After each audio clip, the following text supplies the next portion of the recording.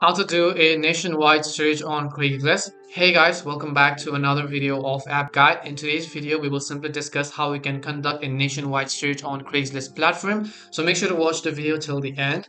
Now, if you're aware, Craigslist based on geolocation, which means that if you're on US, it is going to redirect you to us.craigslist.org. If you're living from UK and searching for products from United Kingdom, it's going to show you the search results relevant to that specific region. And in this video, I'll simply show you step by step as to how you can do a nationwide search on Craigslist.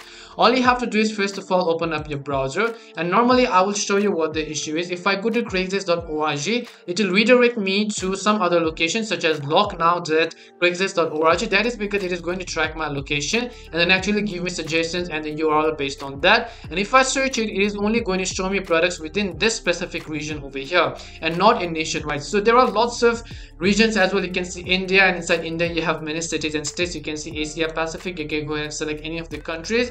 But what if you want to do a nationwide search which means a countrywide and an overall Google search on it. Now for that case what you have to do is open up your search browser and then you want to go to google.com. Once you go to google.com you'll be taken to the search engine page over here and in the search bar you have to paste this text that says site colon craigslist.org. What this does is that it is going to show you all of the results relevant to craigslist.org and not necessarily a specific region.